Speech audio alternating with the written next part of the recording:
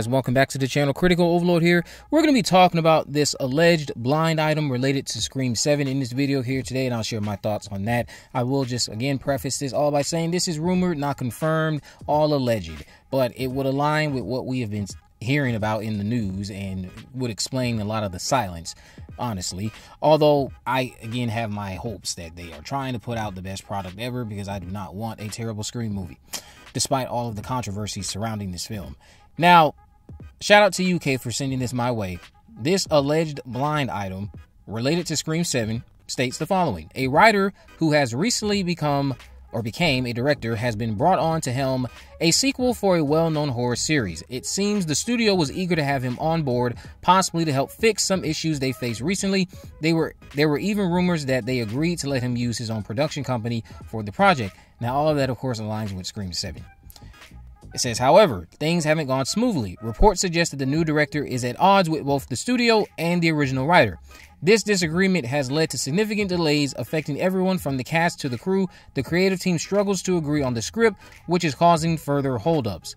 Amidst this chaos, the lead actress shared her enthusiasm about the upcoming sequel with the fan, but added a note of frustration, stating they keep pushing the movie.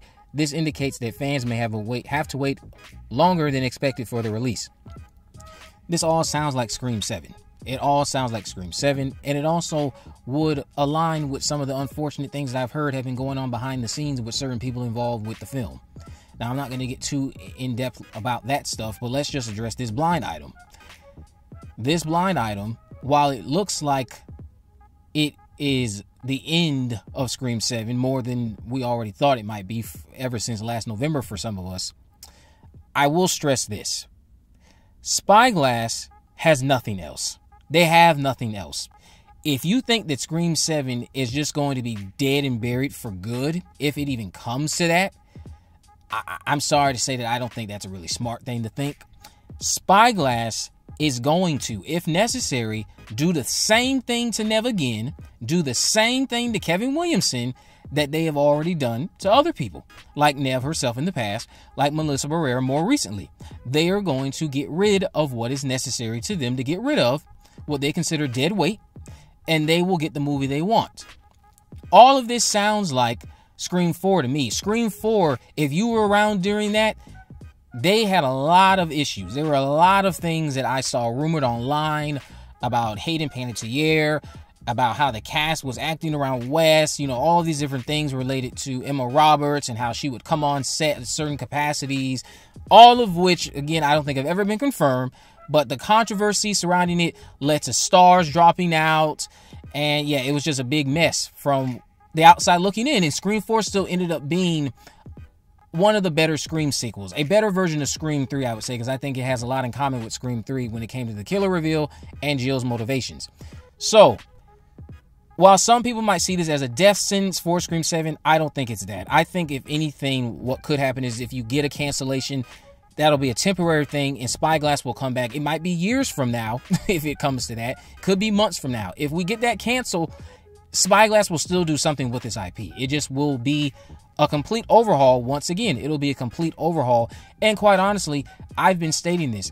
You probably should have done that to begin with. When you lost Melissa Barrera, because Sidney was always supposed to be back, from what I recall hearing. She was always supposed to be back. She was always part of this split dual story they wanted to tell. However, the minute Melissa Barrera was lost, I think instead of rewriting the film to be solely with Sidney at the center again, I think that was your first mistake.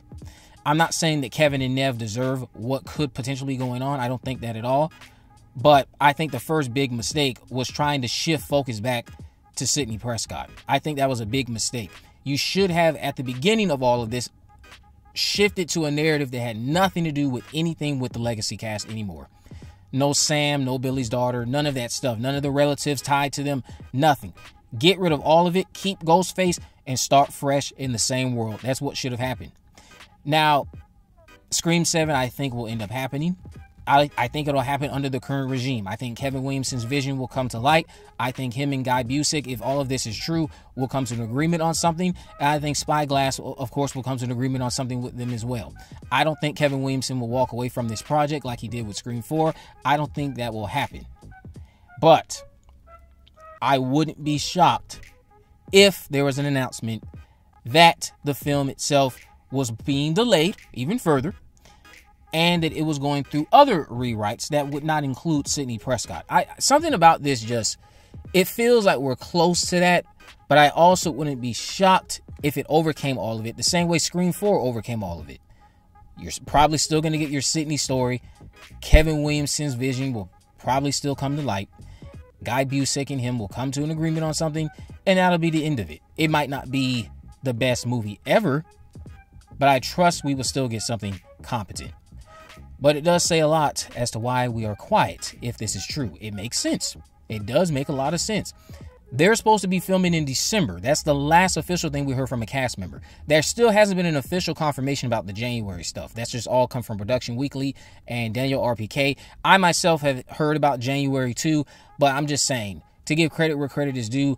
The the more reputable people outside of us would just be the trades, Neve, Kevin, Spyglass, anyone involved with the production directly. They haven't said anything about January. Last thing we heard about was December. We're in November. We don't have anything. Patrick Dempsey is saying that they're waiting on a script. Courteney Cox has made comments about rewrites. Neve has made comments about needing to get a final script. So the rumor, although it's alleged, it's hard to not believe it because of the comments that have come from the stars. You're in November.